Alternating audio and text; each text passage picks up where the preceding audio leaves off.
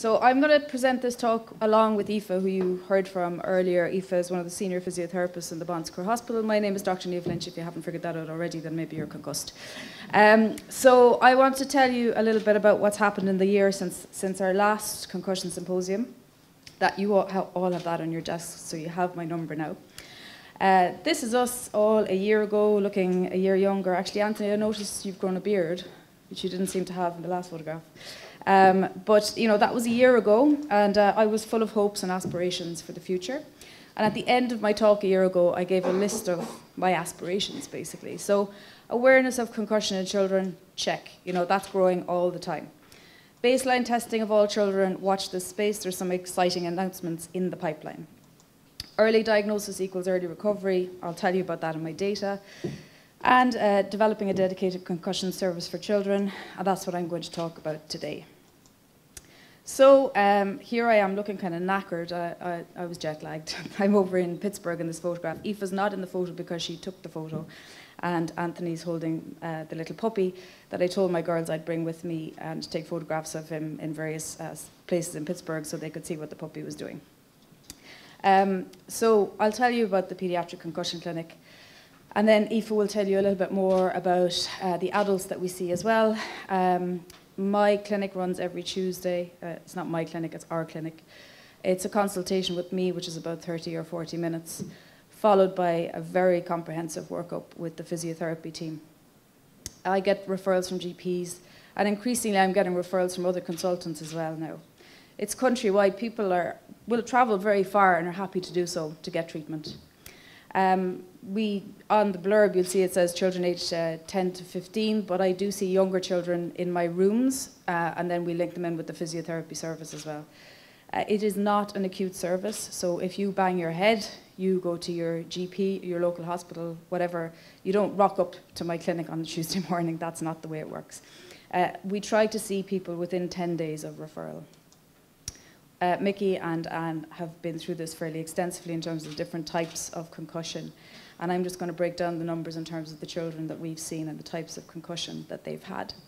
25 confirmed cases, that look like, looks like a small number, but uh, they come back several times, so it's, it's a busy clinic and it's getting busier. Uh, 16 males and 9 females. Three years and 10 months, you're saying, what the hell is she doing seeing a three year and 10 month old? That child was referred to me by uh, their GP He'd fallen out of his bunk bed and uh, had been to the local hospital and just wasn't getting better. And I saw him on the ward, and he literally he was completely cross-eyed.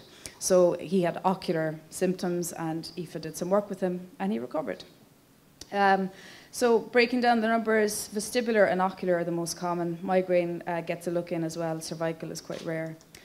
Uh, four of the 25 had, had, associated anxiety, and two had associated cognitive symptoms. Both of those were male, uh, we'll probably diagnose that a lot more once we roll out the impact testing because we'll be able to do formal neurocognitive testing on them. So that's just a demographic, mostly males. Uh, and in those males, uh, mostly ocular and vestibular coming in a close second. Uh, in the females, it's vestibular and ocular again. Migraine is getting a slightly bigger slice of the pie, but these are pretty small numbers. So how long did it take for them to actually find their way to Cork? About 17 weeks is the answer. The quickest was two days, very on the ball GP, diagnosed the child, had them investigated, and uh, saw them on the Sunday, and I saw them on the Tuesday. Uh, the maximum time was two years, which is kind of sad to think that there was a, a, child out there with symptoms for two years. Uh, so 19 of the 25 have completed their treatment, have undergone their return to play uh, clearance, and are, are, back enjoying a full, happy life. Uh, six of the 25 are recent and are ongoing with their treatment. I think it's very rare to have a medical uh, intervention or a therapy that you can stand up and say uh, everybody's getting better. Um, it, uh, that's nice to be able to say. It is small numbers. We're getting bigger. We'll have better data for you the next time we meet. So it takes on average about 10 weeks from start of treatment to actually be back to play. The most somebody took was seven months. That was a bit of an outlier. And the minimum was 15 days. So when you're dealing with small groups, it's obviously hard to apply statistical analysis, but we can talk about trends. So uh, females on average recover within about nine weeks and males within about 11 weeks. There is definitely a trend for the girls to present earlier. there is some data to present uh, to back that up that girls are either more aware or more honest or whatever, more susceptible. I don't know, but they definitely seem to be coming in earlier. Uh, there's also a trend that says that the sooner you come to our clinic, the better, the quicker you'll get better. So the patient who recovered in 15 days was the one who presented at two days, and the one who took seven months to get better had been unwell for 18 months. And the other, other, other trend that we're seeing then is that if you present within about uh, 12 weeks, it takes you about nine weeks to get better. And if you take more than 12 weeks to find your way to us, uh, it takes about 13 weeks to get better. But there's a very wide range of presentation times, and we do need longer follow up of larger numbers. So, if you're an optimist, you say that even if you wait months and months and months for treatment, you'll still actually get better. Um, if you're a pessimist, you say, well, you know, if you wait to get treatment, it'll take you four weeks longer to recover. I don't know. I, am probably an optimist, but um, you know, it's, it's been great to see all these children um, getting so much better. So it's good news. Um, that's my demographic again. Every 19 of the children are better, and six of them are, are ongoing. Um, so what's the future now? Uh, so we're opening a paediatric medical assessment unit in the Bon Secours Hospital in Cork uh, next month, and we will be seeing minor head injuries. So I will have pretty much immediate access and knowledge of the concussions that come in. So it'll be nice to have that little cohort of patients. Uh, we're hoping to roll out impact baseline testing. Like I said, watch the space. We are actively building a concussion network. There are a lot of moving parts, but it's, it's fantastic and there's just so much enthusiasm and support for it. Uh, it's all about teamwork. Uh, the physiotherapy department and particularly Aoife have been instrumental in, uh, in allowing this vision and this idea of a concussion clinic to actually uh, become a reality. So I'll hand you over to Aoife now because she's done all the heavy lifting.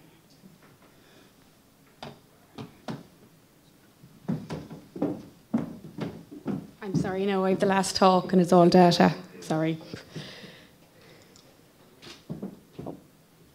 Perfect. So I know it said in the talk an overview of concussion care in Ireland, but actually we're just looking at our clinic because initially we were the only paediatric concussion clinic in Ireland. I'm not a peds physio, I'll put my in the start. I'm actually an orthopedic and MSK physio that did a sports medicine masters took an interest in concussion and ended up in a paediatric clinic. um, now, I would work closely with paediatric physios. Um, I have actually a first cousin who's a clinical specialist in paediatrics, which does help and works in a neurodevelop, de, uh, I can't, I can't talk, a neuro area, I'll just say that. um, so we can actually have ideas and we do have resources if it is a very complex case. So it's a paediatric concussion clinic. It started last year in 2016. It was all Niamh's vision. She saw a big gaping opening in the market, as you might think, being a private hospital. But actually, she saw a concerned area for a parent because she has two little girls who've had had concussion, um, and she just saw there was nowhere to go. So she saw an area that definitely parents were crying out for, and she set it up. Um, but now I do take referrals from Niamh primarily. We have two neuro consultants who are adult consultants who will refer to me. Um, I'll take referrals. We take referrals from GPs. I will take referrals from um, physios because often you will be treating someone who has a cervical problem, but then you notice they have a concussion problem as well, and you might know where to go with them, but they have to have a GP letter to come with us, all right? Um, and then also I'll take them from team doctors as well, no problem. So this is our paediatric concussion clinic. Um, for the Americans, Cork is situated in the south of the country. They think they're a bit of a rebel county, but I'm from Kerry, and I think we're the kingdom still. I always put that in. I wind Niamh up about it a small bit. So, population of Cork is 417,000. City is over around 112,000. Roughly, they say the rate of concussion is 1.2 per population. That would work out as 4,000 concussions should be in Cork City, which is roughly 80 per week. We don't have 80 per week coming to us because the majority of patients will recover themselves, and we'll just talk about that in a second. Um, 55% are male, 55, 50.5% are females, and 49.5 are males in Cork. It's a very proud of its sporting tradition. They have a brand new Uí Chaoimh which opened up this year. Um, very proud of Cork City. I think they only need two more points and they have won the league. Um, also, with Munster Rugby would have a huge roots in Cork, and also in terms of racing, um, they only have one track, which is Mallow Race Track, but it would be the home of point to points. It's the home of steeplechase, and it actually would be number biggest area of eventing, and in terms of hunting, would actually be Cork. So there is a huge sporting population out there. So as I said, the clinic demographics is Niamh is our primarily our referral um, because she set up the um, set it up, so she refers to us. There is presently three physios, and we have quite a range. So, in terms of Pittsburgh, they have individual areas and individual people. And what we did in our clinic is um, we picked physios with the range who had an interest in concussion. So, I'm an orthopedic physio with a sports medicine background and do MSK. Um, we have a vestibular physio, and then we have a, another MSK physio with 20 years experience. So between the three of us, we have really good knowledge. We now have two neuro physios joining our team as well, um, which will actually just build our services even more. In 11 months, I've seen 36 patients. Now, the reason I'm different to Niamh is because I take adults as well. Um, in terms of 36, often they'd be seen two to three times. Um, so you can see how our numbers are built quite big. big. So we went to Pittsburgh. We've have great relationship with them in Pittsburgh. It's a very sporting city, from the Pittsburgh Penguins for ice hockey to the Steelers for their football to the Pirates for their baseball. It's actually a really lovely city, and I'd recommend anyone to visit it. um, really, really fantastic sporting facilities over there. So as I said, the good news is the majority of patients can recover on their own, okay? And that's why maybe you mightn't see anyone. If you look at the research, they show 40% can get better within one week, 60% get better in two weeks, 80% get better in three weeks. But really, we see the ones who are longer, the ones who aren't getting better, who need a bit of a treatment. Now, as Niamh said in her talk, Yes, if they do come to us sooner, we can actually increase their recovery time and they can get better quicker. But the good news is 80% of patients can get better.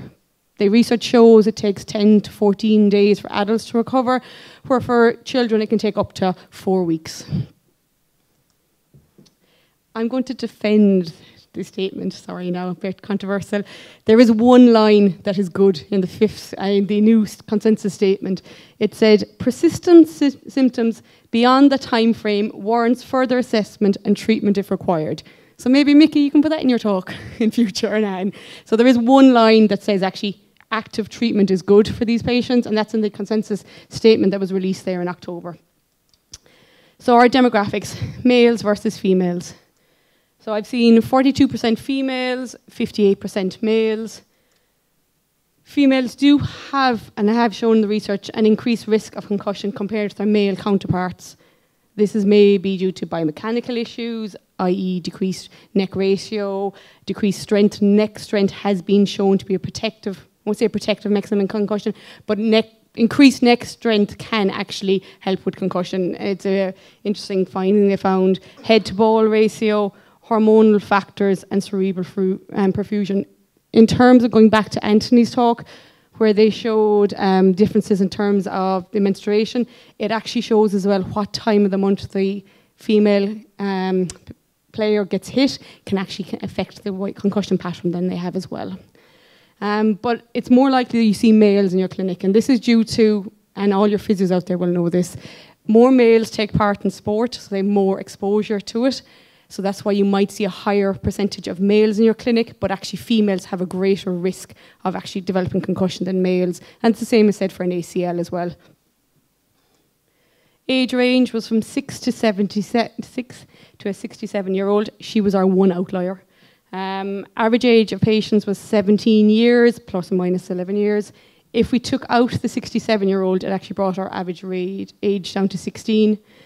And in a paper in 2015, they stated that 70% of all concussions were reported between the ages of 10 and 19. And that's why I suppose Niamh saw the gap and saw there needed to be a service to um, treat these patients.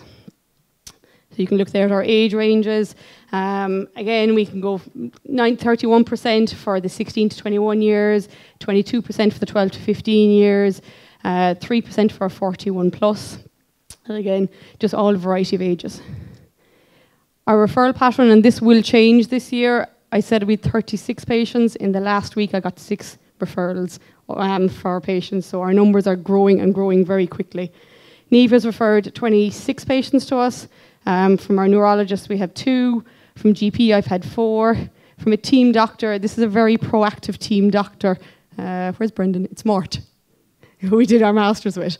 Um, Mort works with a team. He's also actually involved in the A&E in another hospital, in a HSE hospital.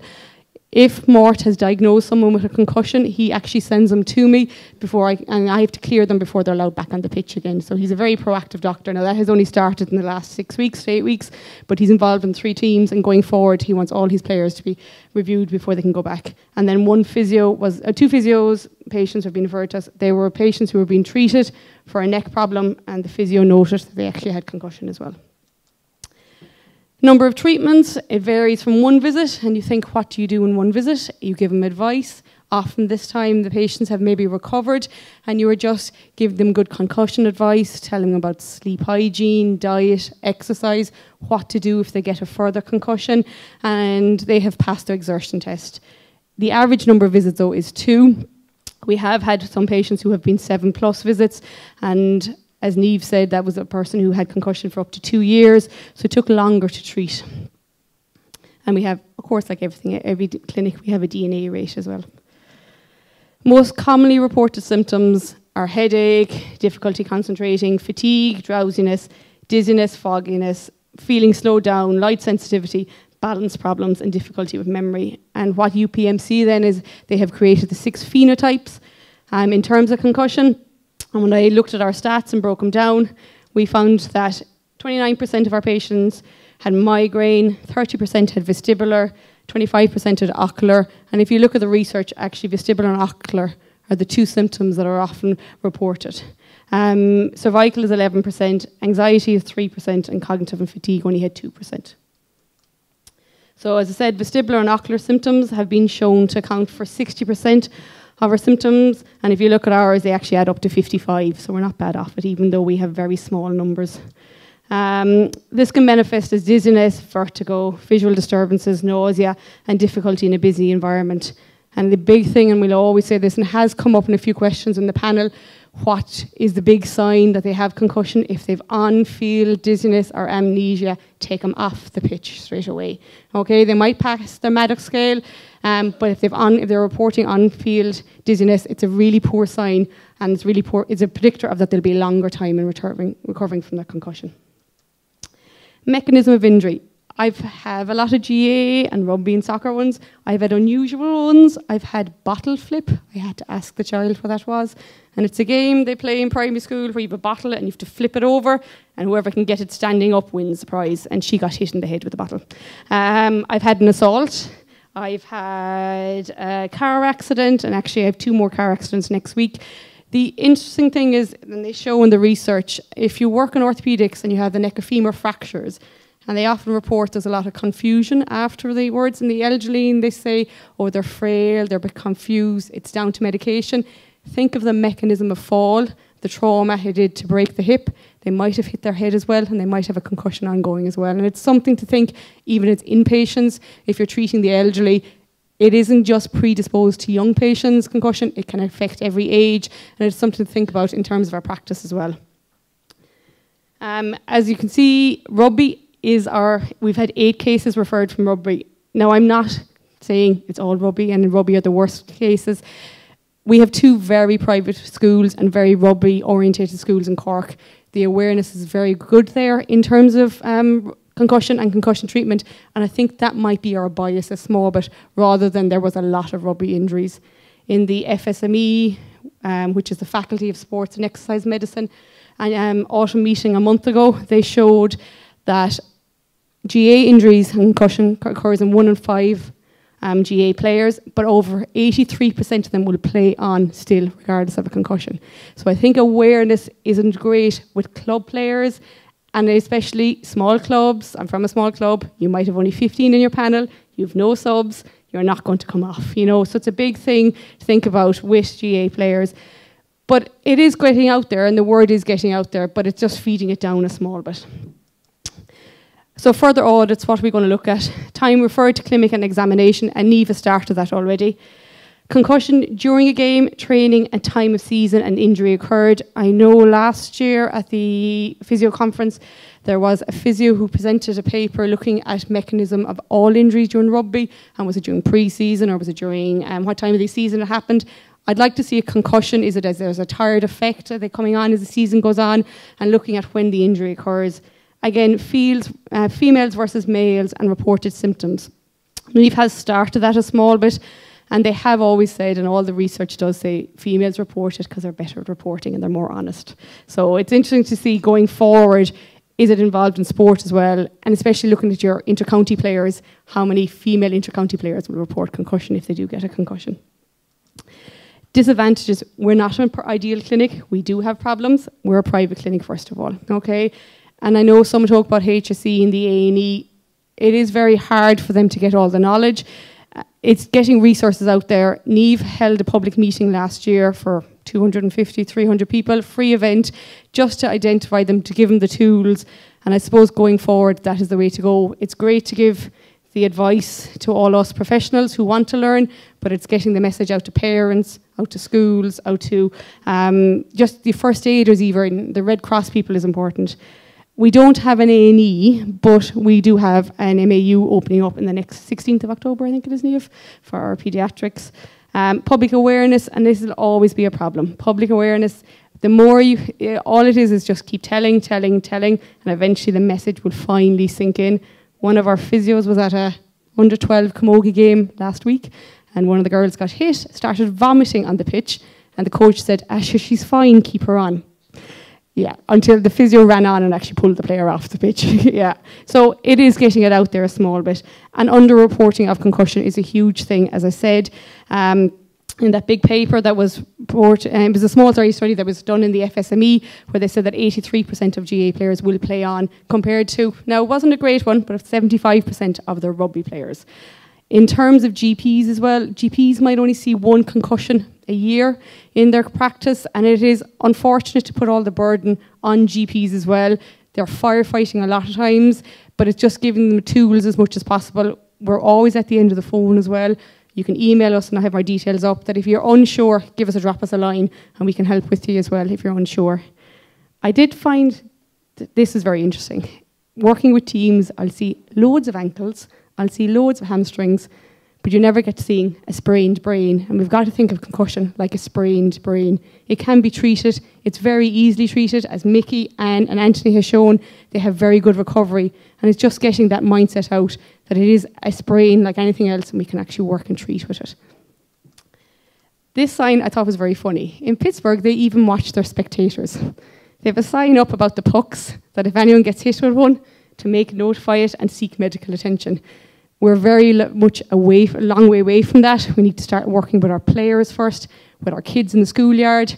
But it's something that I hope that eventually we would look at treating everyone the same. And as I said, there are our details. If you're unsure of anything, you can always give us a drop us a line or give us a phone call. and we do take direct referrals. All right.